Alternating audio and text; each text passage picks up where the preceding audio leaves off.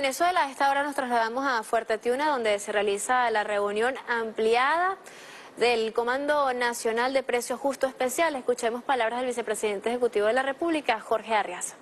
Vicepresidente ejecutivo de la República, Jorge Arriaza. Bueno, muchas gracias, buenas tardes. Patria venezolana,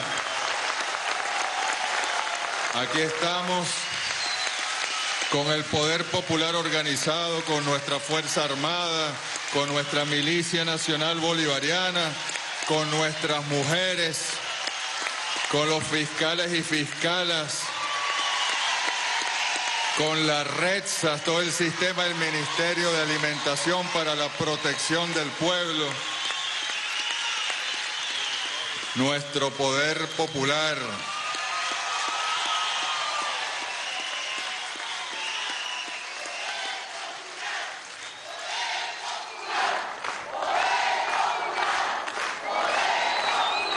Querido compatriota, estábamos conversando antes de salir al aire con este grupo hermoso de mujeres heroínas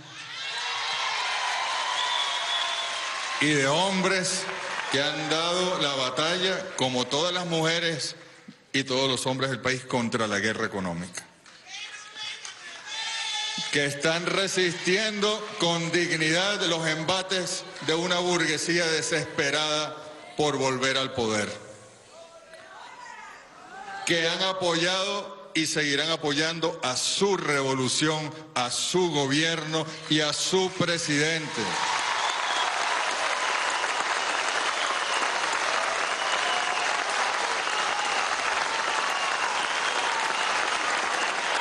Un pueblo que, por ejemplo, jamás podría apoyar a quienes ayer en la Asamblea Nacional se negaron a votar a favor del aumento del salario mínimo para proteger el ingreso de los venezolanos, a quienes se niegan a apoyar los créditos adicionales para las obras de salud, para las obras de educación, para las obras de alimentación.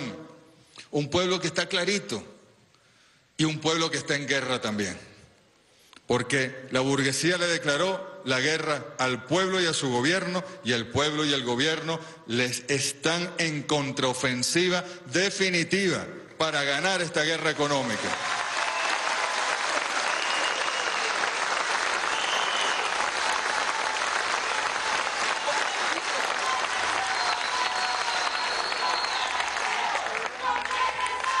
Fíjense que ayer el presidente Maduro en su espacio en contacto con Maduro, número 43, hizo referencia a los nuevos precios, la nueva metodología para la construcción de los precios en Venezuela. Y activó este comando, bueno, donde nos corresponde estar aquí a nosotros. Aquí está, por ejemplo, el comandante de la Guardia Nacional Bolivariana, Mayor General Néstor Reverol. Está el compañero ministro de Industrias y Comercio, José David Cabello. Está el compañero mayor general, vicepresidente de Seguridad y Soberanía Alimentaria, Carlos Osorio. El compañero superintendente de Precios Justos, César Ferrer. La querida ministra del Poder Popular para las Comunas, Isis Ochoa. El mayor general Vega González está al frente de la Milicia Nacional Bolivariana. Y nuestra compañera, lideresa de Caracas, lideresa mujer de la revolución, Tania Díaz. A nosotros nos corresponde organizar, pero el comando somos aquí todos. De hecho, veníamos hablando con el presidente Nicolás Maduro con quien hemos estado permanentemente en contacto el día de hoy para dirigirnos en su nombre al país. Y él nos decía, queridos compañeros, que allá en el puesto de comando presidencial, en el Palacio de Miraflores, donde hacemos guardias, todos los que estamos aquí, guardias nocturnas incluso, va a haber un espacio destinado a ser el cerebro y el control de este Comando Nacional de Precios Justos. Ahí en la Casa del Pueblo, donde gobierna el pueblo, donde gobierna Nicolás Maduro. Ayer nos decía el presidente, y con mucha razón, que esa ley, maravillosa iniciativa, la ley orgánica de precios justos, esa ley que en su momento bueno, generó todo tipo de resistencia. La burguesía nacional, que es muy astuta, también todos los sectores que desde el exterior apoyan a esa burguesía para hacer sufrir al pueblo, lograron irla burlando, le consiguieron los recovecos, la interpretaron de la manera más insólita. Y comenzaron entonces de nuevo a generar procesos especulativos, inflación inducida. ¿En qué se traduce? En el robo a cada uno de ustedes, a cada una de ustedes. El robo, así como cuando roban un teléfono celular o un vehículo o una cartera, cada vez que ustedes van a un comercio y les cobran con sobreprecio un producto, los están robando directamente. Y ese señor es tan delincuente como es el ladrón que está en la calle robándose un celular u otra cosa.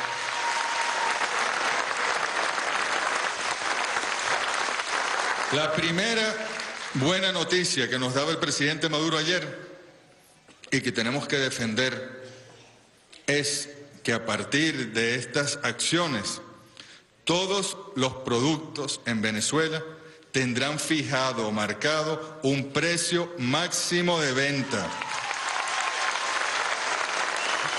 Ya vamos a explicar el método.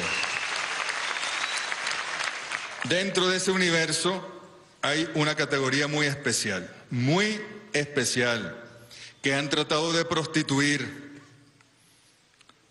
que han tratado de ensuciar, que es la categoría de los precios justos.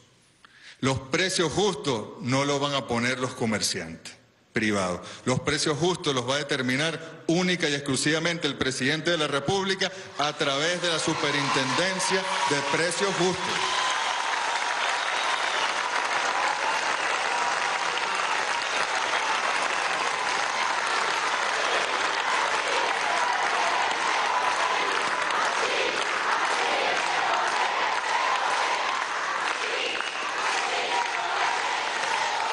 En este sentido, desde hoy, y por favor escúchenos, los sectores privados que se dedican a la producción, a la distribución, a la comercialización, honestos, por favor tomen en cuenta, y todos los sectores, los no honestos están en graves problemas. A partir de hoy se prohíbe a estos comerciantes y vendedores privados utilizar o colocar en sus etiquetas el término precio justo. Es una facultad del presidente Nicolás Maduro.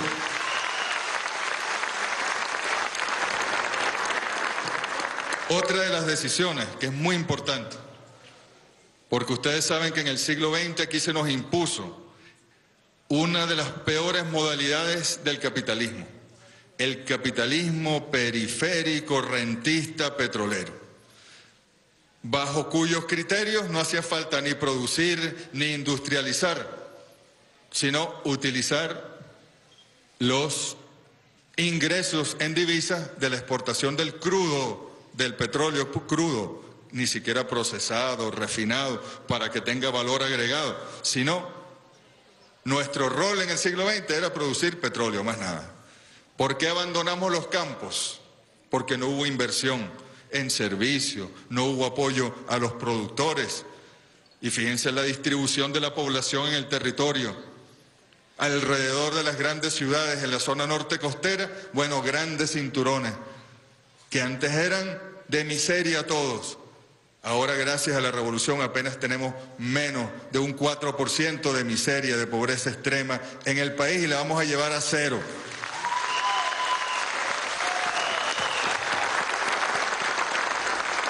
El presidente Maduro ha dicho que esta disminución de los precios del petróleo es una magnífica oportunidad para terminar de hacer lo que nuestro querido comandante eterno Hugo Chávez dejó señalado en el objetivo histórico número 2 y en el 2.1 en particular, que es transitar de la economía rentista, capitalista, especuladora, a la economía productiva, socialista y justa, que se fundamenta en el trabajo y en la producción y en la dignidad del valor del trabajo, del proceso social del trabajo.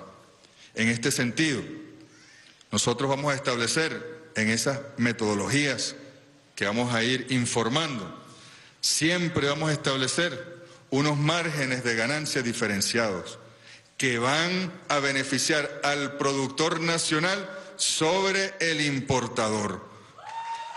Los importadores podrán seguir importando, pero lo harán con un margen de ganancia inferior al del productor nacional. Eso es muy importante porque es una señal de que queremos estimular la producción y más adelante el presidente seguirá haciendo anuncios de estímulo a la producción nacional. Los productores nacionales privados y públicos, los que de verdad trabajan, están protegidos por el gobierno revolucionario y por el presidente obrero, que sabe que son necesarios para desatar las fuerzas productivas con honestidad.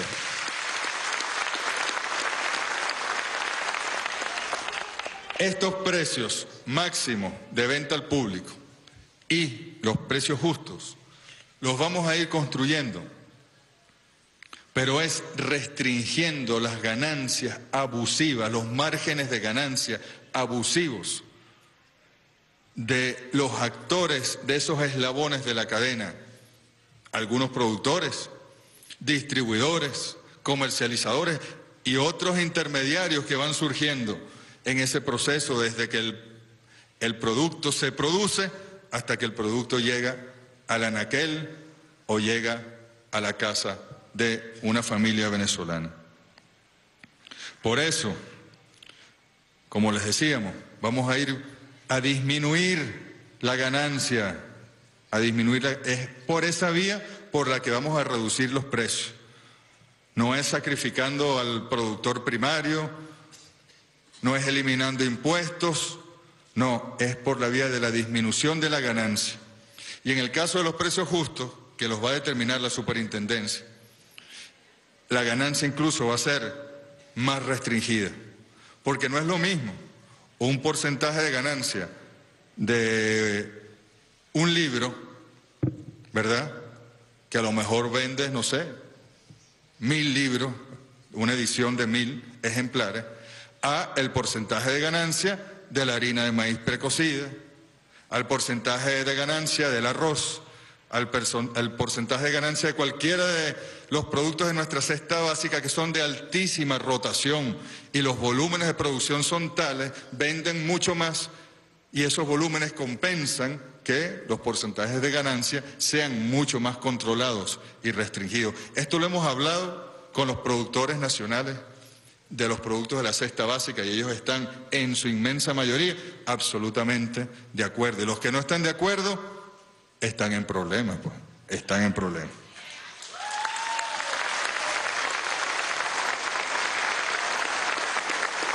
Algo muy importante también, porque en la revolución vamos aprendiendo, en la construcción del socialismo no podemos hacer las cosas de manera fragmentada.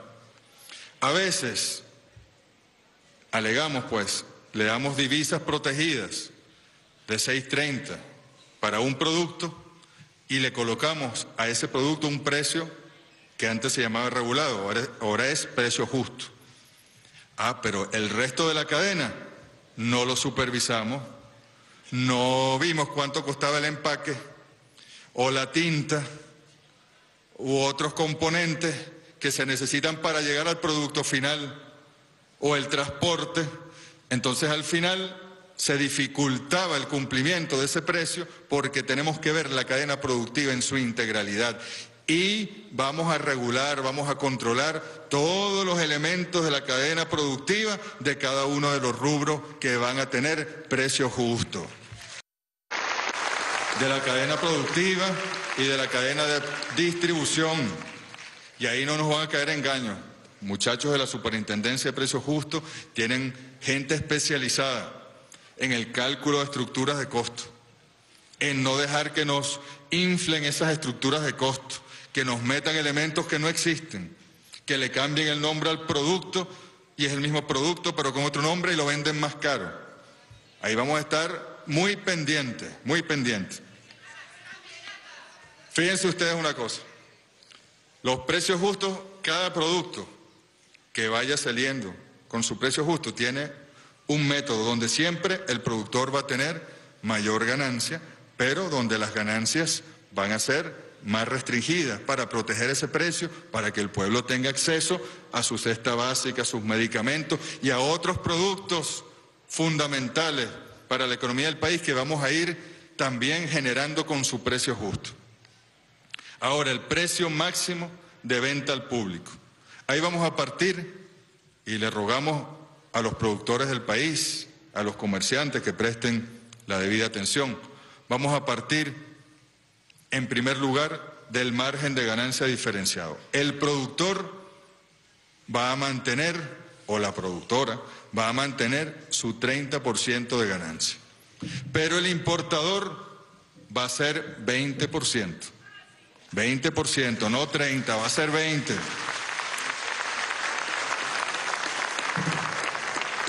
Luego, medio aplicando y burlando la ley actual, ellos empezaban a generar eslabones de la cadena, el distribuidor, el mayorista, el otro, y a cada uno le ponían 30 y en, esos 30 metían todos sus costos operativos, metían los impuestos, metían todo.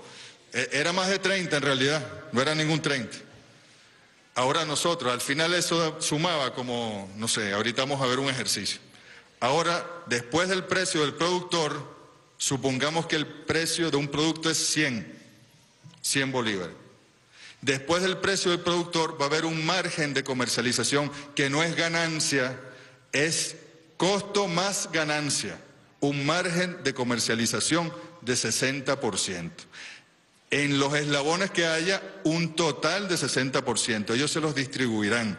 Y ahí están sus costos y están sus ganancias. Y el que antes estaba ganando más de 30% por los estudios que hemos hecho, va a pasar a ganar 15% o menos, dependiendo del producto y dependiendo de los eslabones que pongan en la cadena. Esto es una decisión muy importante, muy importante. Ese producto que salió de la fábrica, hecho por nuestros trabajadores en 100, no va a poder tener un precio superior a 160 bolívares. Nadie lo va a poder vender más allá de 160 bolívares y va a estar marcado por el productor.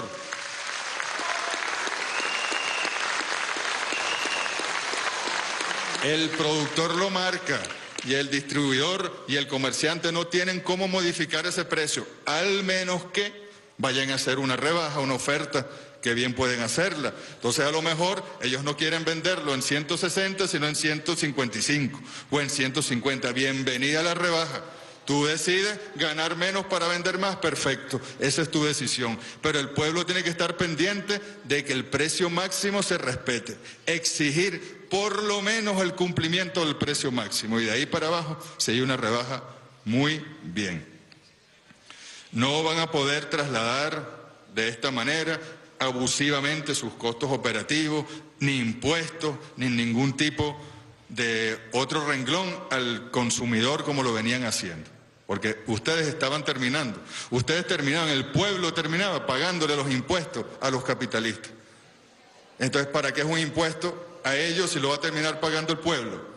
Absurdo, ¿verdad? Ya el pueblo tiene su, también su sacrificio y su IVA y su aporte tributario. Entonces, esto es algo muy importante. Otra decisión del presidente Maduro muy importante, que quiero aquí leerla, se considera ilegal, se considera como un ilícito, como una falta muy grave, el uso como referente en las estructuras de costo del llamado dólar ilegal, dólar paralelo. No se puede utilizar ese referente.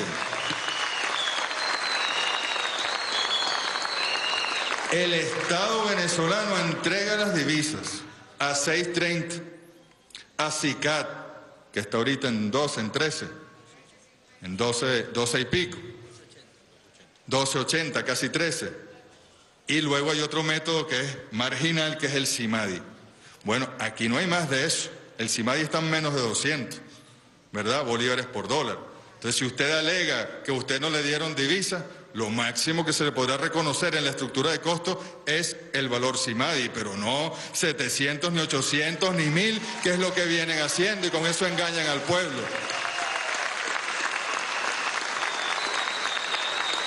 Y ahí va a haber severas sanciones. La ley de precios justos va a ser modificada. El presidente tiene sus poderes habilitantes en plenitud y él allí va a modificar y no se estén quejando después como dicen, la guerra avisada no mata soldados.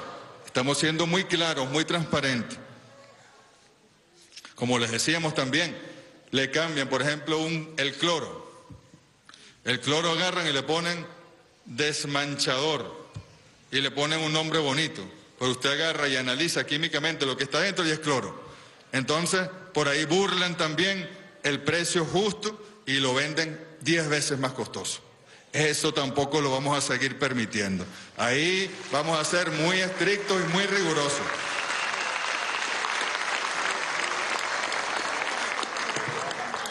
Nosotros vamos a ir haciendo reuniones, así como va a haber un gran despliegue de este, ustedes son apenas como un 0,5% del ejército nacional que se va a desplegar. Así como va a haber un gran despliegue, nos vamos a ir reuniendo con los sectores, yo acabo de hablar ahorita con el presidente de Feindustria, el señor Miguel Ángel Pérez Abad, que ellos son productores, la mayoría, y están ellos contentos con que se les respete ese 30% sobre los importadores. Y ellos ya nos han pedido una reunión para apoyarnos en este proceso. Bienvenidos sean los empresarios nacionales que quieren que haya precios justos en la economía venezolana.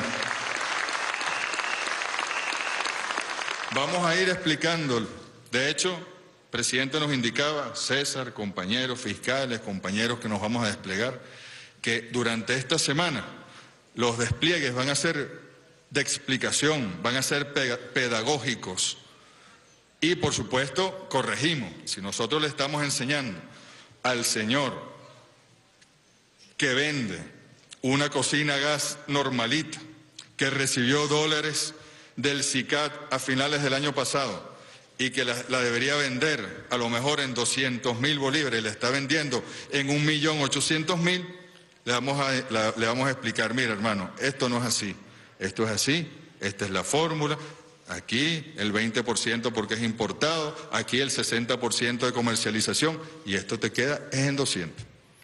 Pero la semana que viene, si vamos allá y la, y la cocina esa está en más de 200, bueno, sanción severa con la nueva ley que va a ser reformada.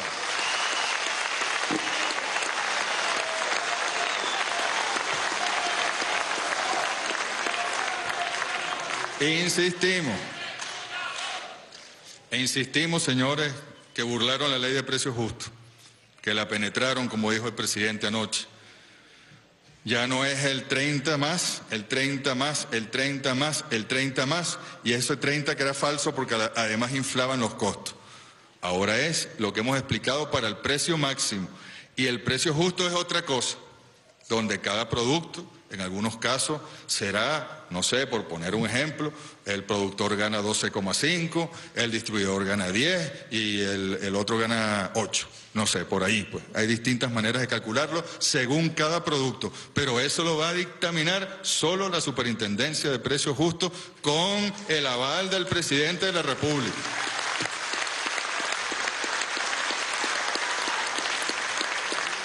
Vamos a rescatar en esa sala complementaria al puesto de comando presidencial, esa sala para garantizar los precios justos, bueno, tenemos que rescatar todas las denuncias del pueblo, tanto las que ustedes reciban directamente como las del 0800 lo justo. Es una gran herramienta.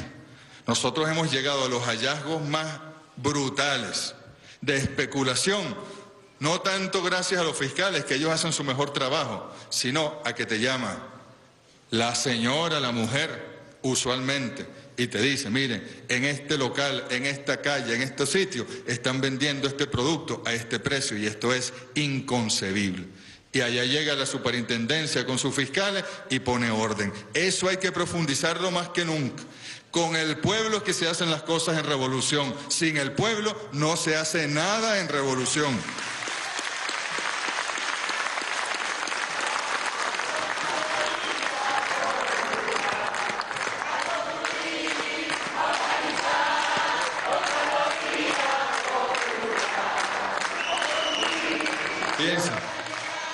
Como les decíamos, las sanciones que están en la ley de precios justos, pero como decía el presidente Maduro ayer, hay capitalistas que ganan tanto y que son tan astutos que ya calculan, bueno, lo voy a vender a sobreprecio, me van a multar, pero yo no importa porque yo estoy ganando tanto que pago la multa y sigo vendiendo a sobreprecio.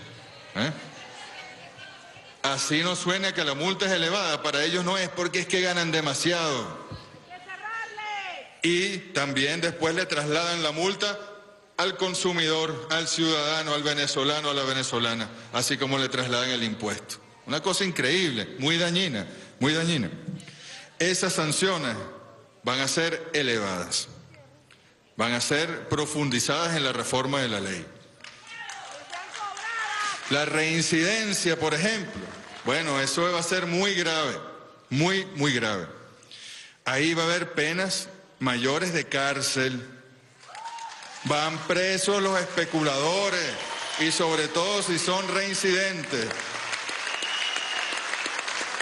Las multas ahora no van a ser multas nada más unidades tributarias, van al ingreso neto de tu ganancia neta anual te vamos a quitar un porcentaje. Ah, que voy a quebrar, quiebra y entréganos entonces el negocio a nosotros. Pero no vamos a permitir que sigas tú quebrando al pueblo de Venezuela. Y no descartamos, queridos compatriotas, en los casos de reincidencia, de burla, la confiscación del negocio, del local, del camión, de lo que corresponda y le será entregado al pueblo organizado con el acompañamiento de su gobierno, para que allí se venda a precios justos. Estos no son amenazas. Estos son decisiones lógicas de protección del pueblo y así tiene que entenderlo todo el sector económico venezolano.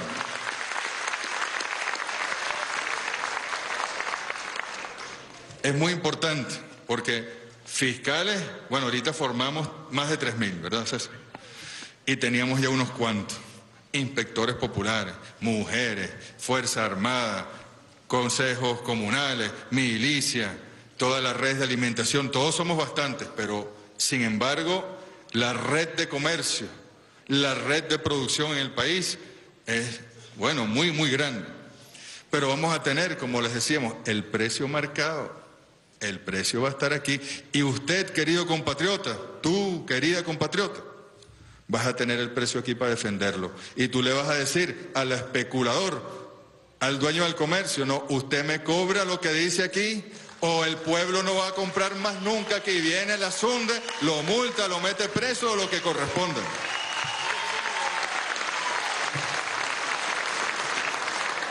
Yo quería ponerles un ejemplo. Tenemos la cámara por aquí. Esto es un ejemplo, y aquí me va a ayudar César, un ejemplo de aquellos que medio aplicaban la ley.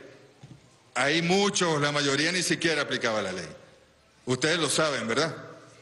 Bueno, de los que medio aplicaban la ley. A ver. Es un producto, aquí dice salsa de tomate. Del productor salían 45,5 bolívares. Esto ya es con la ganancia, ¿verdad? Se iba acá a la distribución 30% más, 59,15. Se iba al mayorista 30% más, 76.89. Y después se iba a la venta al detal 30% más, 99,95. Es decir, que de 45 terminó en más del doble, en 99,95. 120% casi Pero ojo, esto es en estos casos. Pero en muchos casos todo esto lo inflaban, lo inflaban y lo inflaban y esto terminaba aquí en un porcentaje de aumento del 300, del 500 y del 1000% y más. Con la nueva fórmula de precios, de precios máximos, recuerdo, la de los precios justos es distinta, cada producto tiene su dinámica propia y la superintendencia, el Ministerio de Alimentación, el Ministerio de Salud, con cada sector irá obteniendo los insumos para generar esos precios justos y el Ministerio de Industrias y Comercio. Con este nuevo esquema, la salsa de tomate sale en 45,5 bolívares. Este es el precio ya con la ganancia del productor. Y luego el mayorista, el comercializador, el distribuidor, y si quieren meterle más intermediarios que le metan. Pero todos ellos no pueden obtener, no pueden ponerle al precio un 60%, más de un 60%. No pueden. En el 60% está su ganancia en el 60% están sus costos. Y ese producto que costaba 45,5 puede tener un precio máximo de 72,80, no de 95 como decía aquí. No, perdón, de, de 100, 99,95, sino de 72,80. Esto es todavía una transición y esto lo vamos a aplicar a todos. Si el producto costó no sé, un producto caro, un millón de bolívares. Al final de toda la cadena no puede costar más de un millón seiscientos. No puede ser que algo que cueste un millón de bolívares lo vendan a cinco millones, a seis millones, a siete millones. Eso no es justo con el pueblo.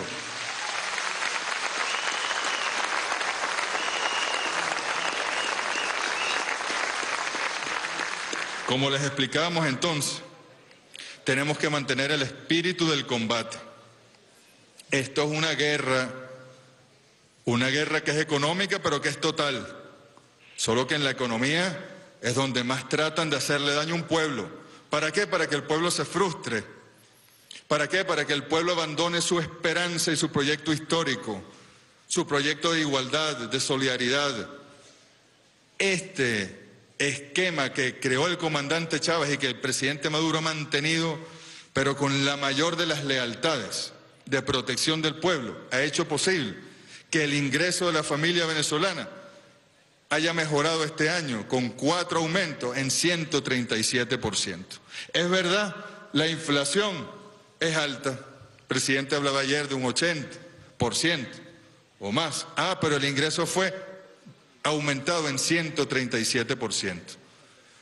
Por allí vimos nosotros al empresario lo llaman el pelucón mayor, que tiene la peluca más grande. Pero bueno, por respeto vamos a llamarlo por su nombre. Eugenio Mendoza. Lorenzo, perdón. Eugenio era su papá, Lorenzo. Que lo que hizo fue heredar la fortuna de su padre, ¿verdad? Y Lorenzo entonces habla con un ex ministro, un ex miembro del gabinete del gobierno más neoliberal que hubo en esta historia, que fue el segundo gobierno de Carlos Andrés Pérez y este señor le dice, mira Lorenzo, yo ya tengo listo. Prácticamente le dice esto, cuando nosotros volvamos al poder, cuando la burguesía llegue al poder, cuando la burguesía desplace al pueblo del poder, yo tengo ya listo una negociación con el Fondo Monetario para que nos den una cantidad de millones de dólares. Y con eso vamos a salvar la economía venezolana.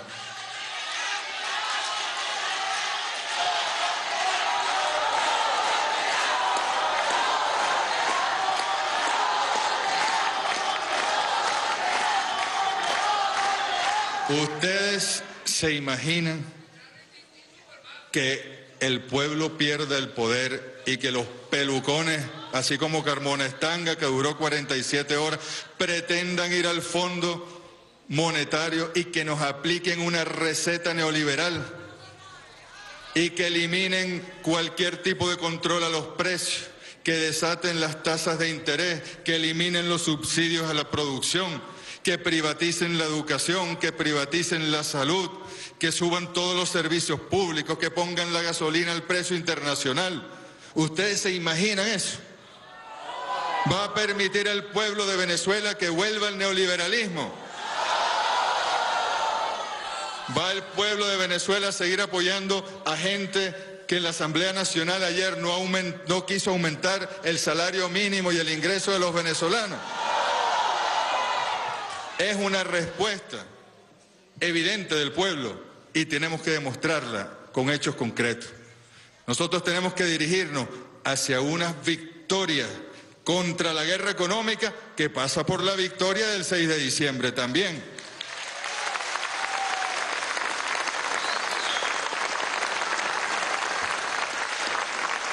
El presidente Maduro va a seguir defendiendo con todos estos anuncios que vienen más para la defensa de la producción, para generar ingresos, para depurar el gasto público. Va a seguir dependiendo el ingreso, el empleo y la calidad del empleo, así como la pobreza. Está en la pobreza, la pobreza extrema medida por necesidades básicas, la que se llama estructural, es, bajó este año, este año tan difícil, a 4,9%.